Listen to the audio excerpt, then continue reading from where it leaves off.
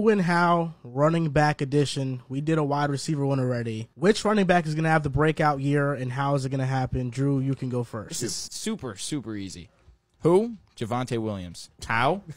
he gets a majority of the workload. It's that simple. There's new news coming out that Melvin Gordon is working through a foot injury. Javonte Williams gets cooking early in the season. He's getting the full workload. I promise you, we're looking at a top five running back in the NFL 100%. My who and how, rookie running back Breece Hall, New York Jets. Every single year we see a rookie running back come and dominate the league. We see Najee Harris, Jonathan Taylor, Saquon Barkley, Zeke, CMC. Every single year a rookie comes in, dominates. He's a great rusher, receiver. He's got size. He's the total package. Ran a 4'4", 40 inch vert, 6'1", 220. And something that's very interesting that I found doing my little research. Next gen stats. There's been six running backs since 2003 who have gotten a grade of 99. Those six, Najee, ETN, Saquon, Derrick Henry, Reggie Bush, and Breece Hall.